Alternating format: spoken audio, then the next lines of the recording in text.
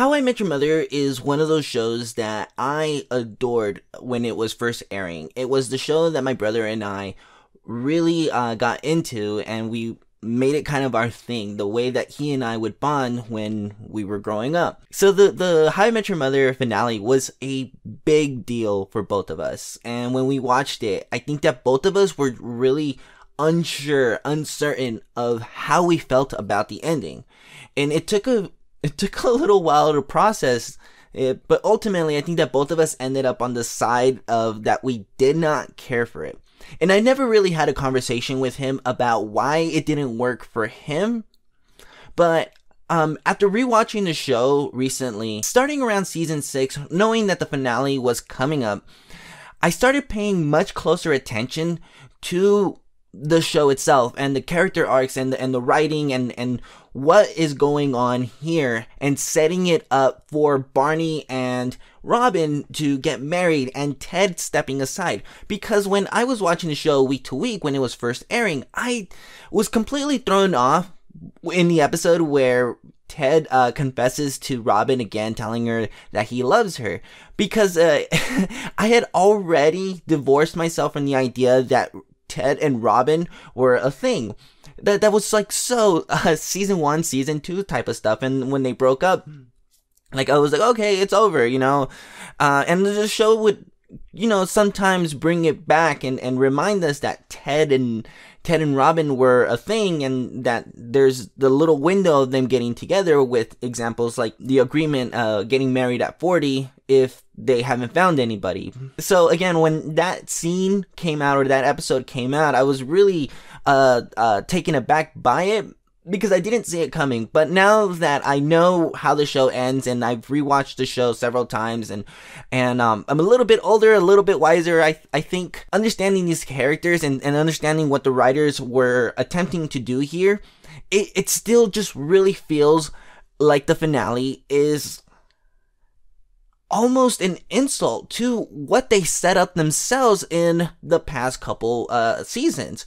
I, I think that it really started with season six but season seven is where it really honed in. Season six is where they uh, have Barney meet his dad and Barney come to terms with uh, the bachelor life not being enough for him anymore and him uh, kind of getting into the idea of wanting to settle down. And uh, season seven is where it really kind of starts to uh, hone in on that with, you know, having the show bring back uh, uh, Victoria to tell Ted that the dynamic that he has with Barney, Robin, and uh, Ted, despite them all uh, having this love triangle thing going on, and him having both dated Robin at different points in in their um in their lives, that it doesn't work. That being friends with your exes and and, and being um you know, uh, friends with your wiener cousins, uh, call back to Scrubs, um, it doesn't work. And so that was something that was set up early on in that in the in that season, I believe. And then little by little we get to see how it doesn't actually work because we have episodes like where Ted confesses to Robin and asking her if she loves him and Robin telling him that she doesn't.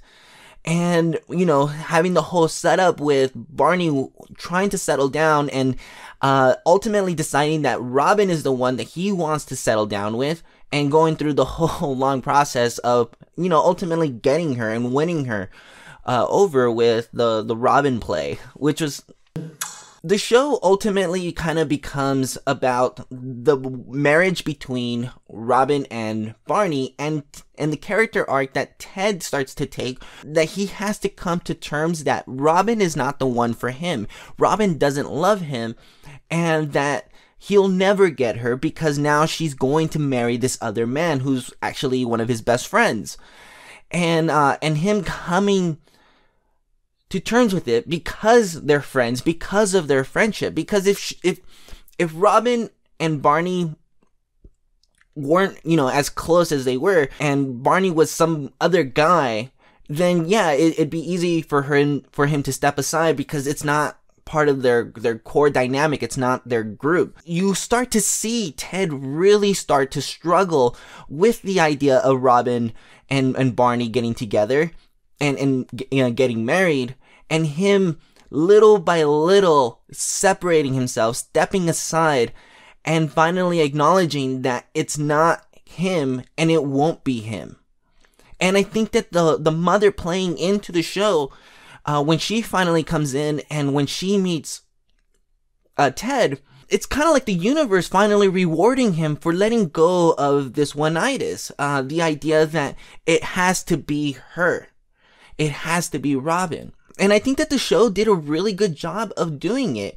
Uh, you know, where Ted finally closed the door on the married at 40 deal. You know, uh, Ted allowing Barney to give uh, Robin the something old and, and him deciding to give them a different uh, wedding present. I even think that characters like like Jeanette and uh, and Barney's uh, sister who wasn't 21 was, you know, Ted coping with the idea that his best friend and, and, and the girl that he thought or he believes that he should be with are getting married and, and, and it's not him. It's, it's, uh, it's going into danger zone. He, he is kind of living a little bit like reckless abandons, uh, so that, uh, because he, he's struggling to cope with the, that very notion that his best friend is marrying the girl that he thinks that he should be with. And again, as, as I said though, that I think that the universe rewarded him when he finally did step aside and allow uh, Barney and and Robin to do their thing, because the idea of one-itis and the idea of of there's only the one person who you believe is who you're supposed to be with is something that I don't jive well with. And I think that um Josh Radnor, who plays Ted, uh, he he talks about often how he is very grateful for what How I Met Your Mother provided for him in real life, but he ultimately has a hard time relating to the character of Ted. I mean, by the end of the show, I think that he found a place of peace in playing the character because he was so far removed from the character and where his character arc was because he felt that the character moved too slowly. Um, he grew too slowly than the way that he grew. Where he was at in his 30s is not where he uh, where Ted was at, or where Ted was barely getting to go uh, to get to. And I think it's this idea of believing that there is the one. Uh, the idea of the one is is a very young person minded thing to uh to believe because life is a lot more complicated than that. I think that uh, a good movie to watch for you to kind of pull this idea from is 500 Days of Summer, where the main character there really projected this idea of the one onto this woman who straight up told him that what you want, I can't provide for you, but he nonetheless uh, latched onto that idea. And I think that Ted ultimately did the same thing with Robin, uh, despite Robin being very different from him and both wanting very different things out of life.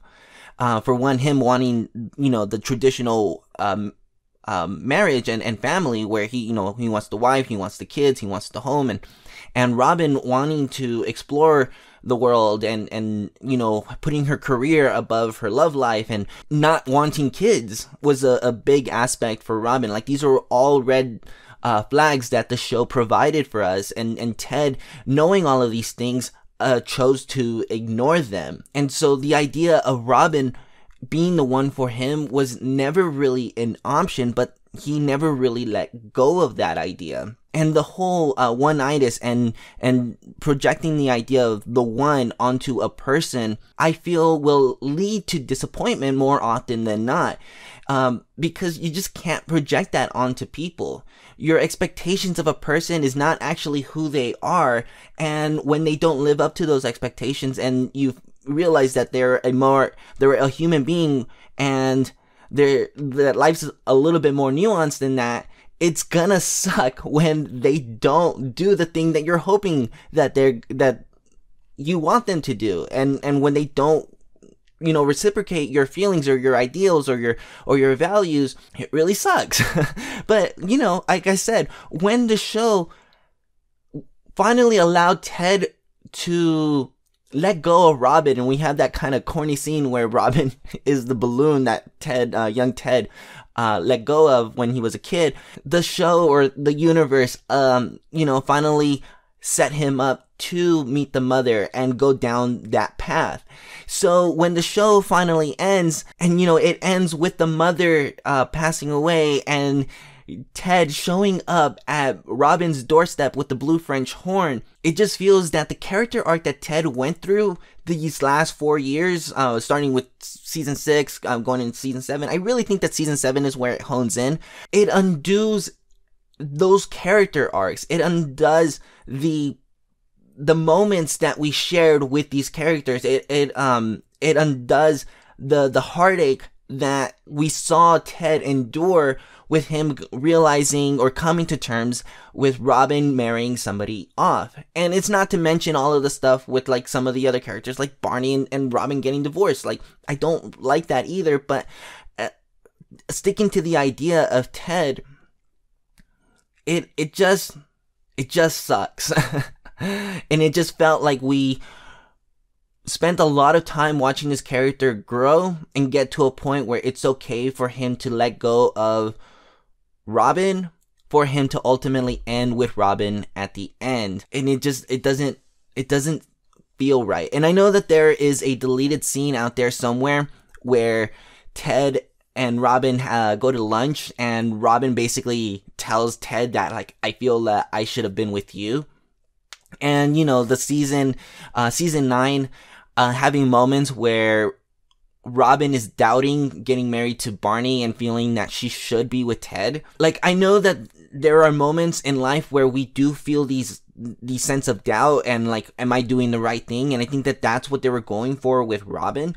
But um to have them end up together in the end, I, I, I don't know that I think it was a good idea when, you know, just a few seasons ago, they straight up had Robin tell Ted that she doesn't love him. I don't know. That's just something that I've been thinking about while rewatching the show. Uh, let me know what you guys think down below. I would really love to see what some of you guys think in the comment section down below about uh, Ted and Robin ending up together and kind of the, the character arcs that were set up between season six and season nine, and and the direction that the show went for. Uh, to get Ted to a place where it was okay for him to date the mother and or to marry the mother and let go of Robin. Let me know what you guys think down below. If you like this video and you want to see more, then consider subscribing to the channel. I have a couple videos on The Office if you guys want to watch those. Uh, share this video out to anybody who you think might enjoy this type of uh, video and this think piece on How I Met Your Mother. Um, I will talk to you guys in the comment section down below. Bye, ciao.